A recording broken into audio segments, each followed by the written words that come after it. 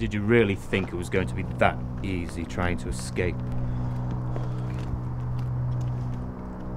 Well, I can assure you that won't be happening.